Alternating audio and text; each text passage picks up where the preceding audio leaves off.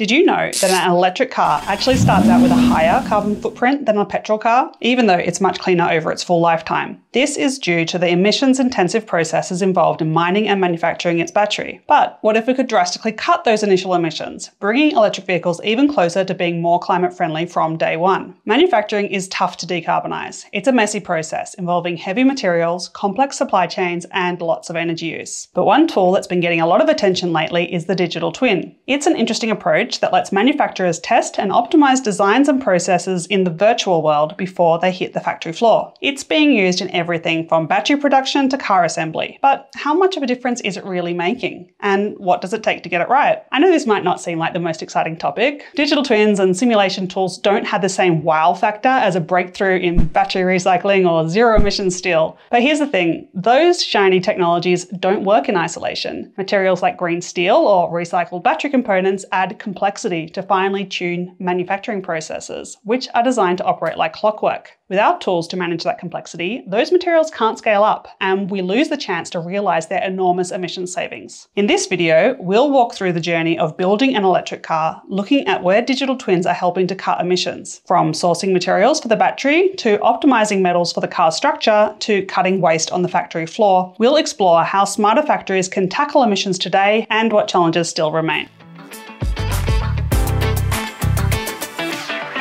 I'm Rosie Barnes, an engineer with 20 years' experience developing clean energy technologies and founder of Pardalote Consulting, who provide advice to clean tech startups and investors. Welcome to Engineering with Rosie. Imagine we're stepping back in time to the early 1900s, watching Henry Ford's team revolutionize manufacturing with the assembly line. By standardizing processes and building cars piece by piece, they slashed costs and made the automobile accessible to millions. But their innovation came with limitations. Errors in design or workflow were only caught after expensive materials and labour had already been spent. Fast forward to today's EV factories, where the stakes are even higher. With batteries, metals, and supply chains contributing to an electric car's significant upfront emissions, we need to be more precise than ever in cutting waste and optimising processes from the start. Enter the digital twin. A digital twin is a virtual replica of a physical product, process, or system designed to test and optimise every detail in the digital world before touching a single piece of equipment or material. But how does it work?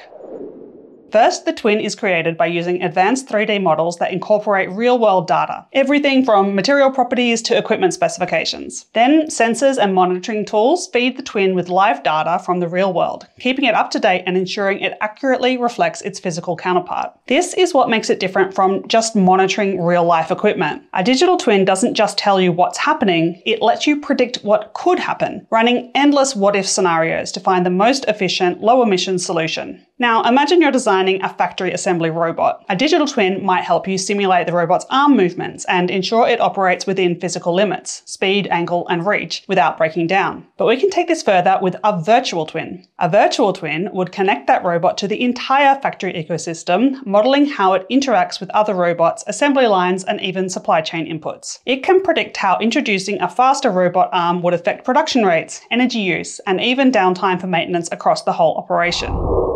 When we think about where the emission story begins for electric cars, it's not at the tailpipe, it's at the battery. This component is both the heart of an EV and its biggest contributor to upfront emissions. Mining and processing materials like lithium, nickel, and cobalt are incredibly energy intensive, and the battery manufacturing process itself adds even more emissions to the mix. It's no surprise that batteries are the reason EVs leave the factory gate with a higher carbon footprint than petrol cars do. So, how do we tackle this?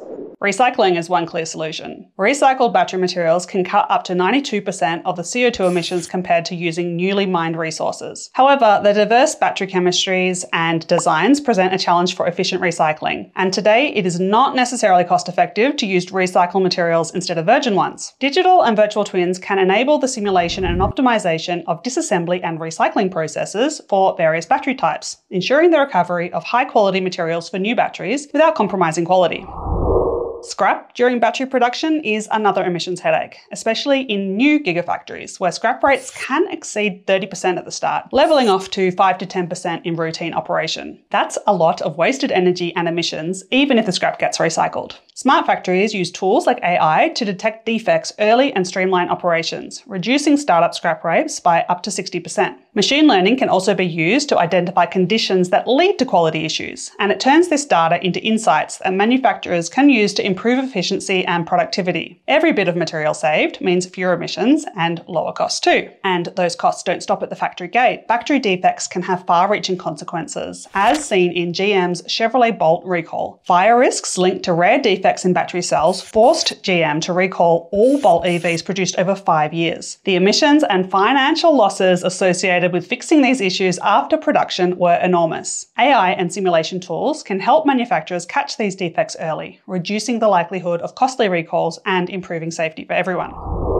Once the battery is addressed, the next emissions hotspot is the rest of the car, particularly its structure. Steel and aluminium are critical materials in an EV, forming the chassis and body panels that provide strength and durability. But producing these materials comes with a hefty carbon footprint. The challenge is how to reduce those emissions without compromising on safety, efficiency, or cost. Once again, recycling offers a powerful way to cut emissions. Using recycled steel saves about 72% of the energy needed for primary production, and recycled aluminium slashes energy use by 95%. But there's a catch recycled materials are not identical to their virgin counterparts. Variations in scrap composition can introduce minor differences in properties like tensile strength and durability. For some high precision applications, these differences mean that recycled steel and aluminium aren't always a straightforward substitute. This is where simulation tools shine. Take the chassis, for example. It needs to meet strict strength and safety requirements while also being as light and cost effective as possible. Manufacturers face a complex set of choices. Should they use virgin steel, recycled steel, or green steel made made with hydrogen, maybe. What about substituting materials like aluminium, magnesium, or even carbon fiber? Each option comes with its own emissions profile, mechanical properties, and supply chain challenges. Modern car manufacturers often adopt multi material strategies to meet competing goals like crash safety, fuel efficiency, and recyclability. Subbing in lightweight materials might improve fuel efficiency, but those same materials may require additional reinforcements to meet crash safety standards, which adds complexity elsewhere. Traditionally, evaluating these trade offs would involve costly and time consuming trial and error testing. But with simulation tools, manufacturers can test every scenario digitally, these tools allow engineers to model the impacts of each material choice, not just on the chassis itself, but on other components and production steps. In my experience, these kinds of simulations are invaluable. I have seen how even a seemingly small material change can ripple through an entire manufacturing process, impacting supply chains, assembly line workflows, and final product performance. Without tools to test and refine these decisions in advance, factories face inefficiencies, delays, and potential waste. And reducing scrap during production is another critical piece of the puzzle. Advanced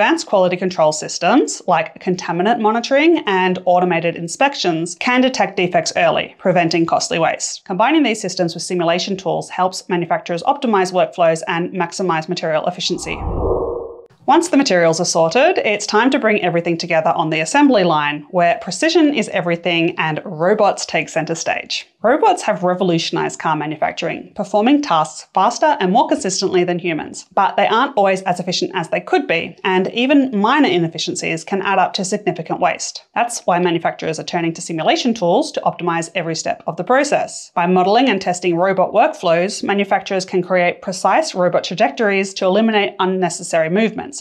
saving energy and reducing wear and tear. Robots equipped with vision systems and sensors can add another layer of efficiency, spotting defects early and preventing faulty parts from progressing further down the line. For example, advanced systems can detect microscopic misalignments on structural components, ensuring only high quality parts move forward. It's like giving every robot a real time quality control assistant. Let's consider an example where small oversights had catastrophic consequences. Look at the Boeing 737 MAX. A combination of design flaws and insufficient testing of manufacturing changes led to two tragic crashes and a global grounding of the fleet. It's a stark reminder of why systems that integrate real time data and thorough testing are so important. In automotive manufacturing, similar principles apply. Ensuring every weld, joint, and component is up to standard is critical to keeping cars safe and reliable.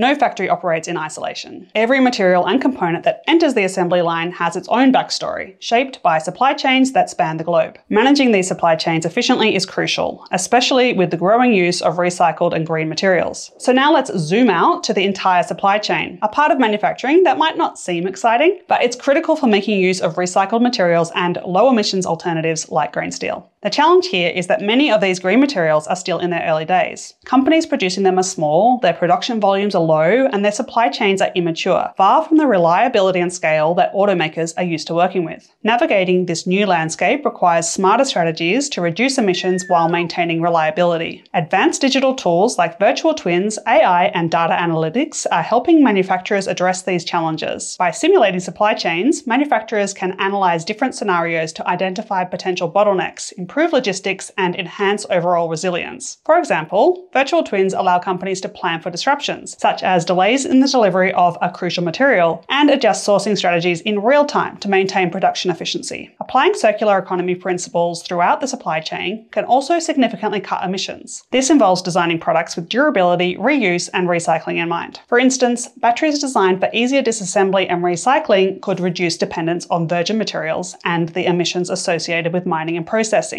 Optimizing logistics and transportation is another key opportunity. Smarter planning can reduce the distance travelled and emissions associated with moving materials. For example, empty delivery trucks returning to distribution centres could be used to collect used batteries for recycling, making reverse logistics more efficient. Exploring cleaner modes of transport, such as electric powered freight, can further reduce emissions. By optimising transportation routes and logistics, companies can cut carbon emissions by 15 to 25%. That's a big win for sustainability and for cost. Diversifying sourcing strategies and including regional suppliers can enhance resilience by reducing risks from geopolitical instability or natural disasters. For immature supply chains, strategic stockpiling of critical materials adds another layer of protection. Supply chains might be invisible to consumers, but they're the lifeblood of manufacturing. During my time working in factories, I saw firsthand how much effort goes into ensuring nothing ever runs out, and the lengths teams will go to when something does. I remember one particularly stressful moment when my team realized we didn't have enough materials for a prototype wind turbine blade we were working on. Missing the production deadline would have been so costly, so to save time, someone was flown from Spain to Poland to personally pick up the materials and fly them back immediately. It shaved maybe 12 hours off the delay, but that experience really underscored to me the pressure that factories are under to keep production moving smoothly.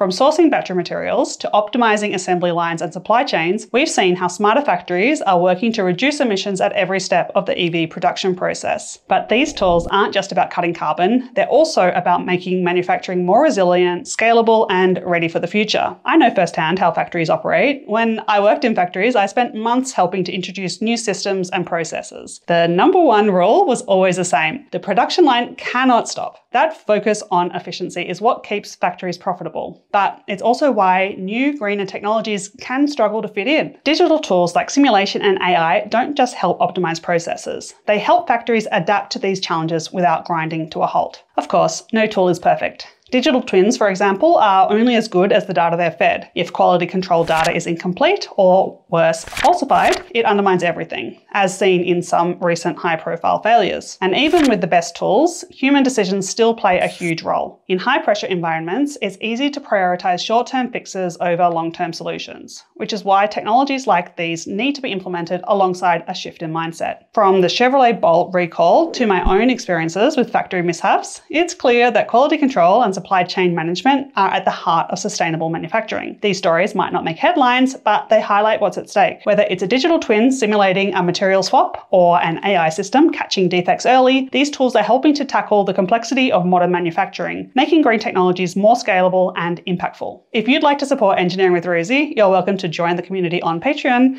and our Discord server where we dive deeper into topics like this. And thank you for watching. I'll see you in the next video.